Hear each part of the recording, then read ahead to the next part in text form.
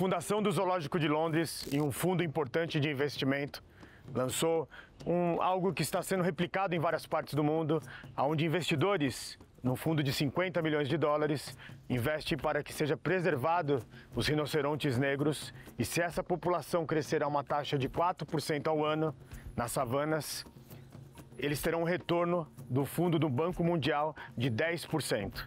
Esse tipo de investimento, quando se une à preservação ambiental, traz uma nova resposta aonde o dinheiro de investidores e também a união de biólogos, de profissionais ligados aos zoológicos do, do mundo vão poder ter um investimento para dar o retorno à economia, mas também fazer com que essas belíssimas espécimes voltem a alegrar a nossa alma.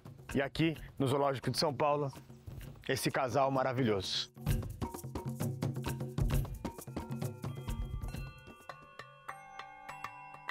Bom, esse centro ele foi concebido é, único exclusivamente para pesquisa e reprodução de animais ameaçados de extinção.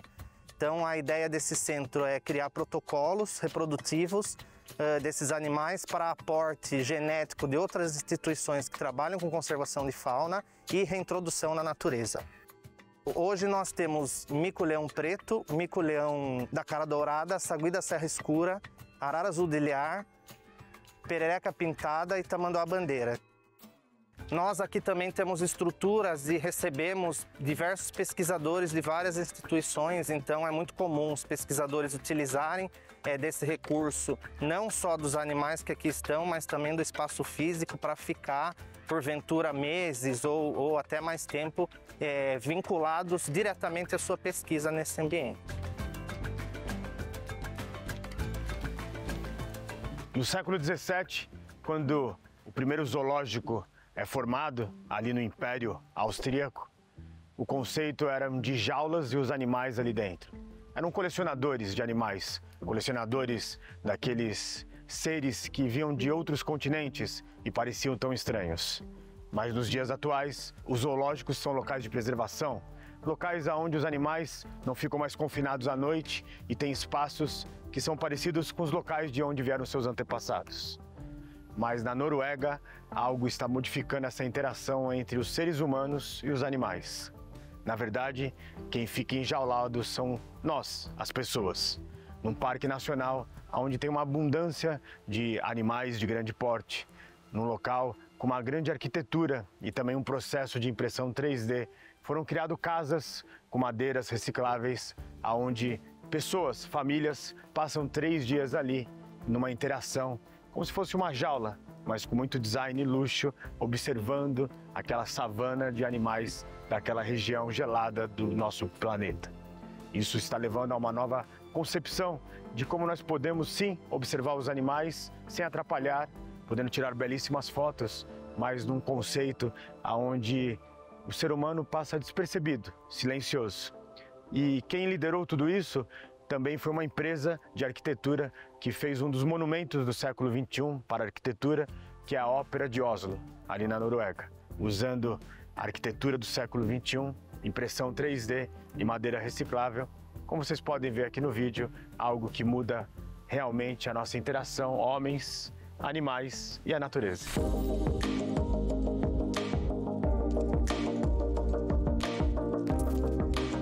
1895 foi criada a primeira associação de médicos do estado de São Paulo.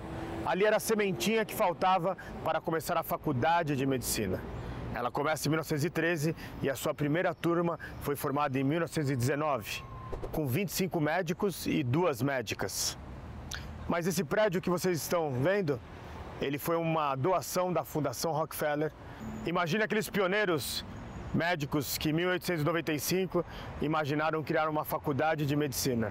Muito tempo depois, estamos aqui, aonde milhares estudaram, tantos outros estudam e tantos outros estão se curando. Desde 1895, enxergar esses dois quarteirões, isso é realmente o imponderável.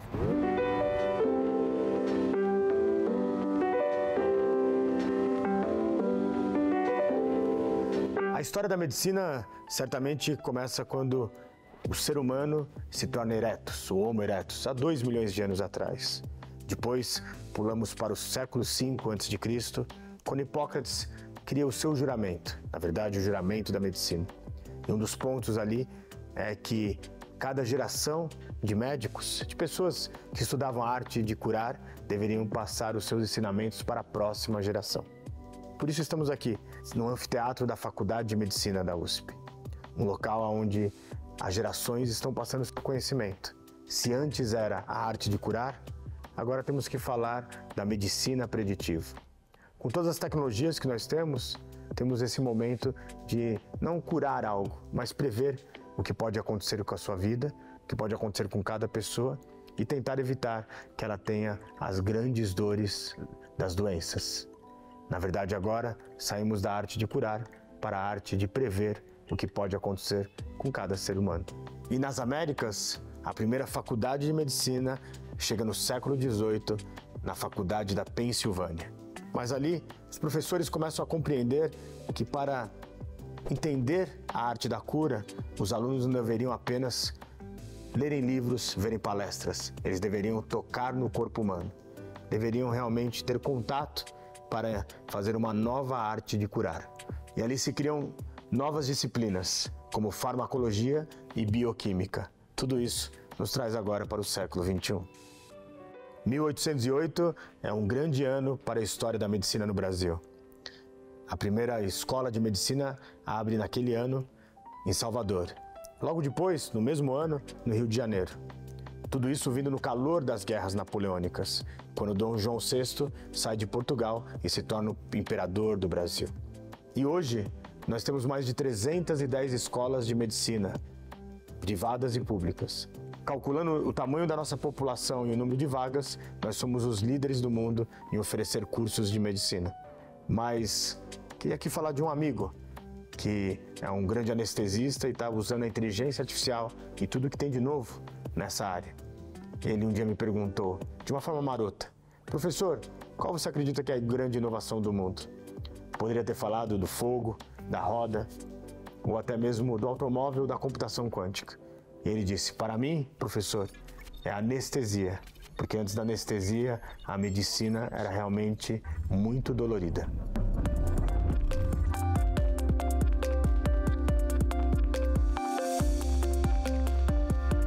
As lojas imersivas. Existe um conceito chamado o apocalipse da loja dos varejos. Existe um livro muito famoso que mostra shopping centers nos Estados Unidos que estão totalmente abandonados. Até mesmo com essa crise respiratória que o mundo teve, lojas estão fechando. Parece que o e-commerce está vencendo. Mas aí vem uma grande resposta.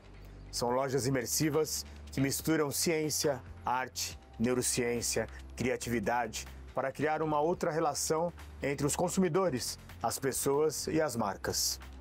Vamos para Xangai, na China, onde uma grande marca de cuidados pessoais está criando um lugar que você pode pegar uma bicicleta realmente, pedalar nela, como se estivesse numa academia e com óculos de realidade virtual você vai andar pelas ruas de Paris. E depois, quem sabe, comprar um batom ou uma maquiagem. Saltamos ali de Xangai e vamos para Paris.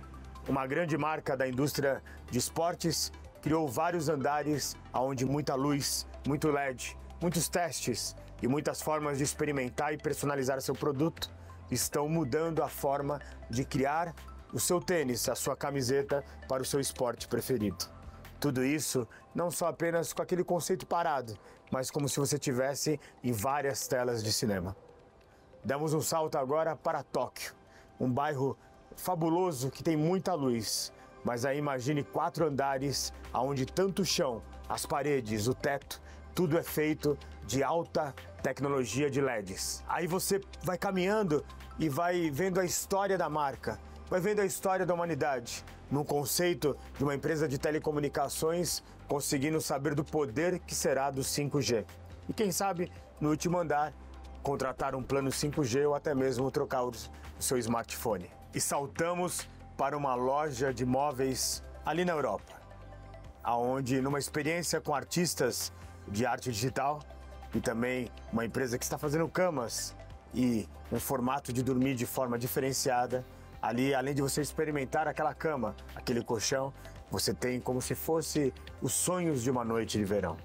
Uma experiência que mistura todas as sensibilidades, um pouco de visão para te fazer algo, como disse um amigo, o tempo que mais você passa na sua casa é deitado. Então, invista numa cama.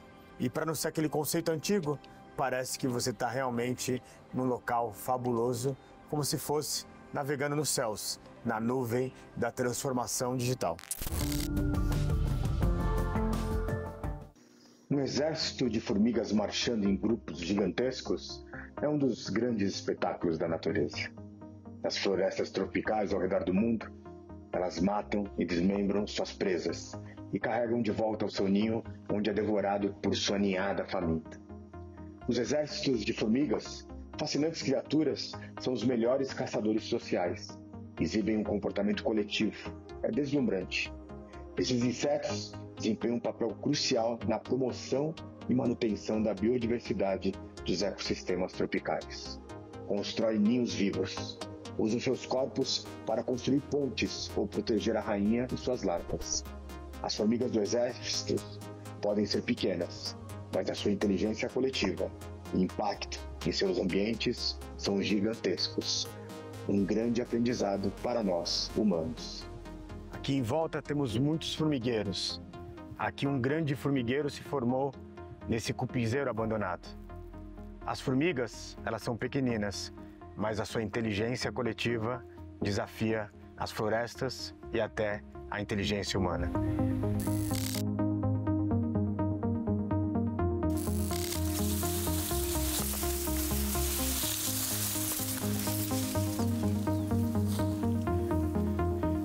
Em 1986, o maior desastre nuclear aconteceu no rio Pripyat, ali na Ucrânia, o desastre conhecido como Chernobyl. Foi criada uma gigantesca zona de inclusão, onde milhares de pessoas foram retiradas dali e levadas a milhares de quilômetros para morar em outros locais. Porém, cientistas acreditaram que não existiria mais nenhum tipo de fauna, os animais iriam desaparecer. Mas desde 1986, usando uma série de técnicas aonde usando um tipo de uma graxa que atrai animais, estão descobrindo que famílias inteiras estão voltando e multiplicou o número de animais que tinham desde o século 17. Estão sendo encontrados bisons, ursos, guaxinins, lontras, como nunca visto nos últimos três séculos. E depois de algumas décadas do desastre de Chernobyl, a radiação caiu apenas para 10% e os animais daquela região estão se multiplicando e através de drones, câmeras, a sociedade científica está acompanhando que quando os humanos deixam uma zona, mesmo que seja uma zona restrita, os animais voltam e tudo aquela teoria, a teoria de Gaia, que com a nossa ausência teríamos de volta um planeta regenerado, está sendo provado naquela região do rio Pripyat.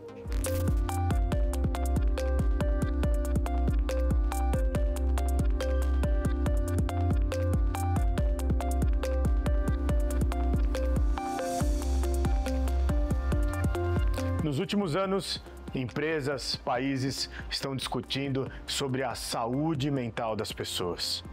Na verdade, com tudo isso que o mundo passa, essa era dos extremos, pandemias, as pessoas se recolhendo nas suas casas e se distanciando dos seus amigos de trabalho, das suas famílias.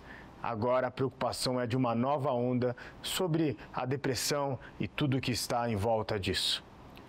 O Japão agora em janeiro de 2021, criou o Ministério da Solidão.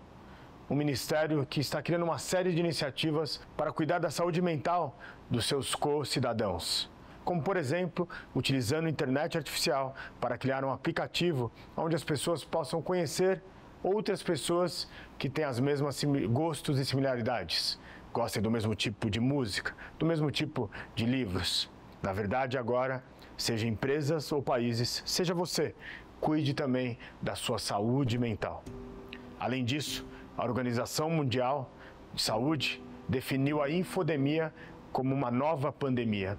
A infodemia, infelizmente, nos traz aquele local que as pessoas que falam mais e gritam mais, apesar de pouco estudo, estão criando uma grande voz, ao contrário daqueles que estão em silêncio, estudando e criando pontes para o século 21.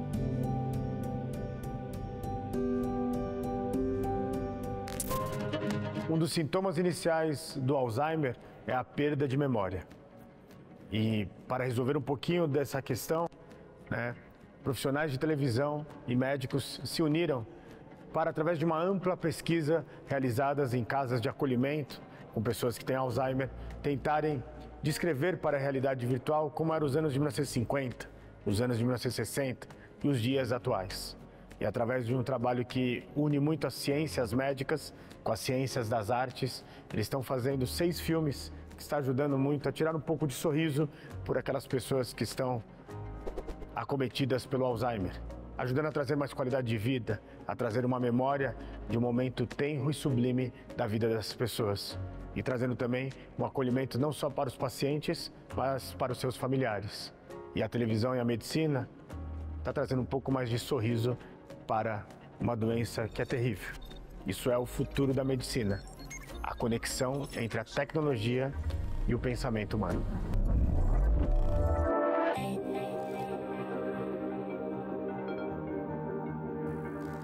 Na última vez que eu estive em Shenzhen, ou Shenzhen, como você preferir, a fábrica do mundo na China, fui até a fábrica da Ubitech. E ali estavam os robôs que eles prometem colocar em quase todas as casas do mundo. Os primeiros robôs deles, como esse daqui, tinham cara de que estavam bravos. Mas agora, no pavilhão chinês, na Expo 2020, no pavilhão chinês você é recebido por um robô da Ubitech que parece um panda. Ele explica sobre as últimas conquistas tecnológicas da China, conta a história sobre esse animal que é o símbolo chinês, conta sobre os avanços científicos e econômicos daquele país e tem deixado as pessoas extremamente emocionadas. Esse panda, além de ser o host, o recepcionista das pessoas que visitam aquele deslumbrante pavilhão, também consegue fazer é, escrever poesias para entregar para as pessoas, enfim, a melhor mistura da tecnologia, da robótica, da precisão da inteligência artificial com a sutileza e o símbolo né, de pandas que quem nunca olhou para um panda e sorriu. Mas ao mesmo tempo, né, a minha querida apresentadora, a Humanoid Pepper, está sofrendo muitas críticas nessa pandemia do Covid-19 é, diversas Peppers foram levadas para fazer um tipo de uma torcida no estádio que estava vazio, que só entraram as robôs e pouquíssimos seres humanos. E elas torcendo ali, fazendo uma coreografia, alguém disse: Parece que eu estava vendo não algo que me entusiasmasse, mas parecia que eu estava vendo uma parada militar da Coreia do Norte. Então, estamos nesse momento, entre às vezes a sutileza dos robôs pandas e talvez até a nossa querida Pepper e parece que está muito mecânica em alguns sentidos. Isso é o conceito da nova robótica em tempos de transformação digital.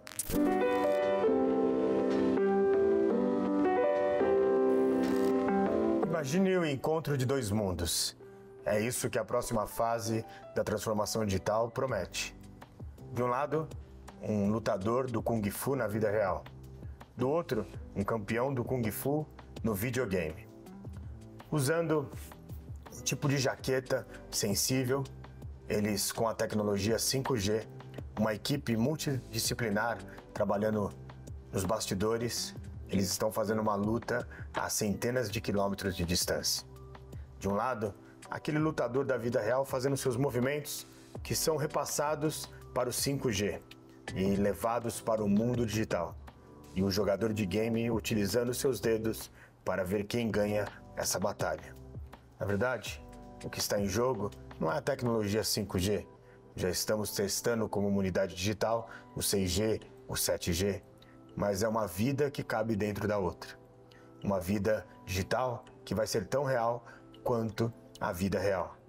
E no final, nós teremos experiências e qualquer empresa que ficar só vendendo produtos ou serviços e não entregar experiências, e na era da aceleração digital, não entregar também espetáculos, vai ficar fora dessa nova era. Nessa batalha do Kung Fu, real e digital, quem será que ganha? exame de ressonância magnética é desafiador para qualquer idade. Agora imagine para as crianças. Pensando nisso, a Disney e a Philips desenvolveram um projeto especial onde envolve cores, som e traz um pouco de conforto para as crianças. Numa sala especial e seis historinhas simples e confortantes, colocando os principais personagens desse grupo para que as crianças, que muitas delas choram no começo da sua ressonância magnética, saiam dali com uma percepção de magia, uma percepção de uma experiência diferente. Na verdade, uma das empresas é uma das líderes da saúde do século XXI e a outra de experiências e histórias. Elas se uniram para trazer um pouco de conforto, tanto para as crianças e para os seus pais, e um pouco de evolução no que nós chamamos do human to human, que é o ser humano no centro de tudo. São histórias como essas que merecem ser compartilhadas. Em um dos empoderáveis, nós falamos da indústria de exames de DNA, de como manipular os 23 pares de cromossomos. Falamos daquelas duas menininhas, Lala e Lulu, que eram as primeiras seres humanos manipulados geneticamente. Tudo isso faz parte de uma indústria chamada biotech, que mistura tecnologia com a biologia. Mas a grande fronteira do biotech está sendo a busca pela imortalidade. Já são mais de 73 bilhões de dólares investidos em empresas que tentam transformar a nossa vida eterna. Para vocês terem uma ideia, já existe um exame que custa em média R$ 2.500, que ele testa o seu índice de imortalidade. Isso não é nada novo. Na Grécia Antiga existia a ambrósia, um tipo de comida que daria imortalidade para quem experimentasse ela. Essa comida não tem nada a ver com a ambrósia, aquele comida deliciosa de coco e leite dos mineiros. Para vocês terem uma ideia, a mitologia grega já falava de fênix, um pássaro fabuloso que tinha imortalidade. Mas a pergunta sobre o imponderável é: você desejaria viver eternamente? Ou uma das grandes virtudes da vida é vivê-la de uma forma inteligente, de uma forma ética e ser vivo mas sabendo que um dia não estaremos mais aqui. Qual a sua opinião? O Centro de Pesquisas de Neurologia da Universidade de Pequim, na China, primeiro alimentou uma inteligência artificial com 10 anos de casos resolvidos sobre tumores cerebrais, utilizando fotos, vídeos e uma série de outras ferramentas para que aquela inteligência artificial entendesse sobre esta terrível doença. Depois, convocou 15 dos seus melhores médicos sobre tumores cerebrais para uma competição entre aquela máquina de inteligência artificial e esses 15 experientes médicos. A conclusão trouxe um pouquinho de sombras sobre o desemprego tecnológico. Enquanto a inteligência artificial conseguiu resolver 87% dos casos, a equipe médica 66%. Uma média normal para doutores dessa especialidade. Mas, na verdade, o que o governo chinês desejava não era criar um medo sobre os seus especialistas, mas que eles poderiam realmente dar as mãos para a inteligência artificial para resolverem os problemas complexos dos tumores cerebrais e, e também terem tempo para pensar em novas formas de combater esse mal. A Universidade de Pequim e o seu Centro de Doenças Neurológicas está criando novas fronteiras para que no mundo de bilhões de habitantes e muitas variações dessa doença, a gente possa ter as respostas, ora com os melhores cérebros humanos, ora com a inteligência artificial. Imagine como a inteligência artificial vai nos ajudar a chegar a soluções de problemas complexos com esses médicos e médicas geniais.